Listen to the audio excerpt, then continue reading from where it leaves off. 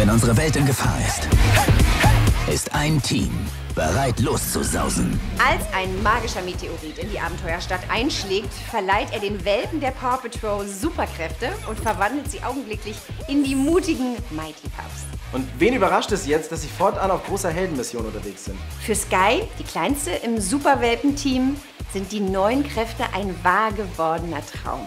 Doch als Bürgermeister Besserwisser, der Erzrivale der liebenswerten Hundecrew, aus dem Gefängnis ausbricht, wendet sich das Blatt.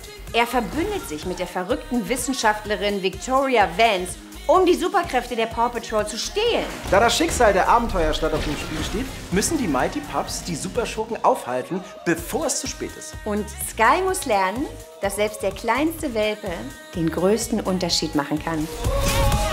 Jetzt, wo wir Superhunde sind, kann ich doch nicht einschlafen. Du bist bestimmt müder als du.